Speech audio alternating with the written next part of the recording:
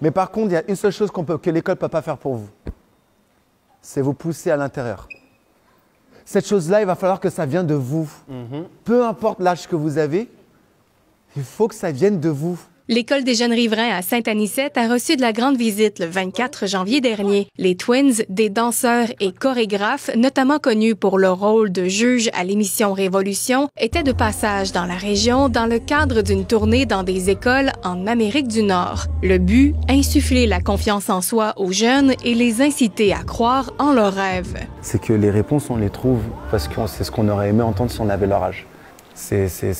On n'a pas, lu ça dans un livre, on n'a pas été. C'est juste que j'aurais aimé qu'on me dise ça à ce moment-là. Donc c'est pour ça que j'arrive à trouver les mots d'un enfant en difficulté. J'ai, euh, eu des problèmes et j'ai fait des choix qui n'étaient pas les meilleurs.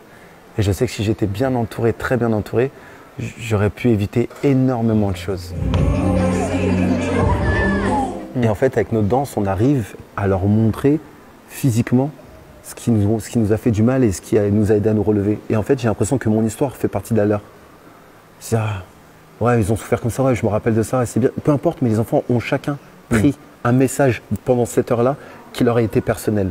Ils vont devenir quelqu'un qu'ils vont choisir. Pour réaliser leur tournée dans les écoles, les Twins se sont associés au réseau d'écriture jeunesse, le Kids Right Network, un programme de soutien qui utilise l'art pour améliorer la santé mentale des jeunes. Leur visite à l'école des jeunes riverains a été ponctuée de danse, de messages d'espoir et d'exercices visuellement très parlants, comme cet exemple sur la persévérance. Tu vas continuer. C'est pas la vitesse de la course qui compte. C'est que tu n'abandonnes pas. Le but, c'est de ne pas abandonner. On continue. On s'abandonne pas. Parce qu'on rêve Tu peux le encore tu plus. peux le faire, plus vite. Alors, Stop. je vais vous dire quelque chose. C'est la première fois que je vois des enfants aussi motivés.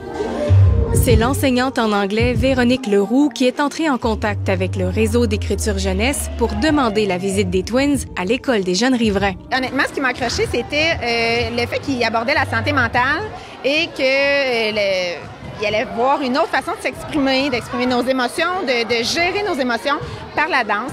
La visite des Twins a été un succès sur toute la ligne. Ils ont vraiment pris le temps de faire réfléchir les enfants, je pense, sur euh, rêver. C'est- Moi, ça m'a beaucoup parlé. De, continuer à rêver, rêver grand. Dites pas juste qu'est-ce que vous voulez. Ça, là, ça m'a vraiment. euh, je pense que les, en tout cas, j'ai beaucoup aimé ça qui parle de ça aux enfants.